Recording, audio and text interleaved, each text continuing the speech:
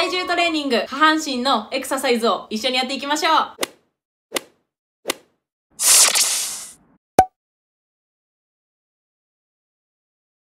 はい、おはぎゃみ TV かなこです。今日は今まで紹介してきた下半身系のトレーニングを一緒にできるようにまとめてみました。今日のメニューはこちら。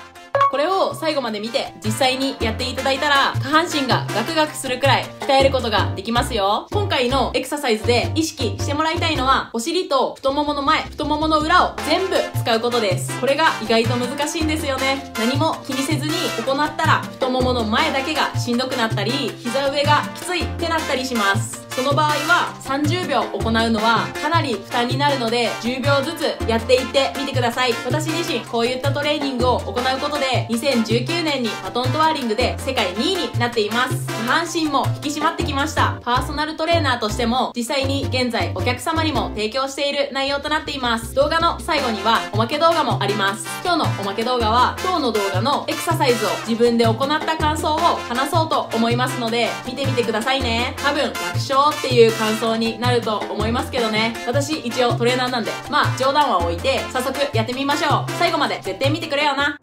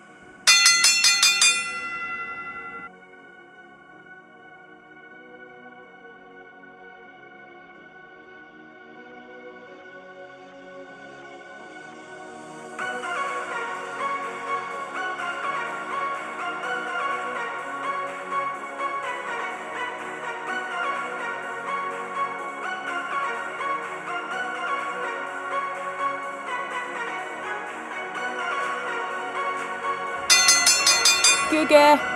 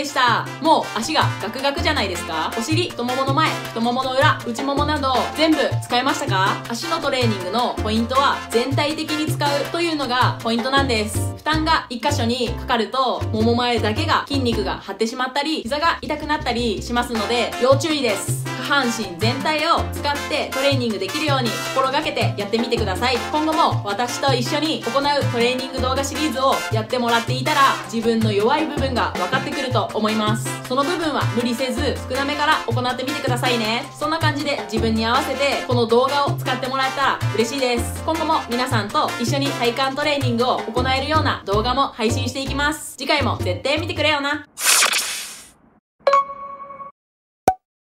はい。ということで、今日は動画の中でトレーニングを実際に行った感想を話していきたいと思います。まず、撮影後の私をご覧いただきましょう。どうぞ。けっつ。もうこの時の気持ちはね、あ、もうきつい、もう二度とやりたくないって思ってた。自分の体重だけなのに、これだけ来るってすごいんですよ。でも、私は普段こうやってトレーニングをしてるのに、こうやってなるっていうのはひどいですね、本当に。なので、もう最初の分で調子に乗ってたんですけど、楽勝とか言ってたんですけど、めっちゃきつかったです。もうこれだけは本当に一発で撮りたくて、頑張りました。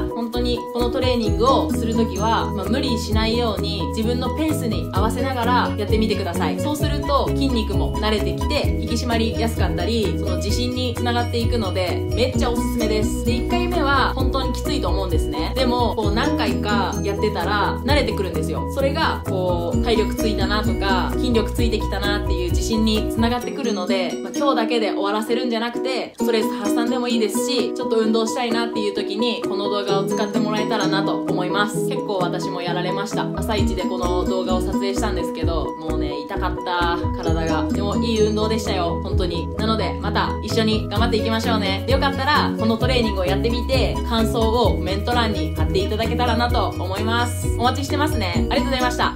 ご覧のスポンサーの提供でお送りいたしました。よかったらチャンネル登録お願いいたします。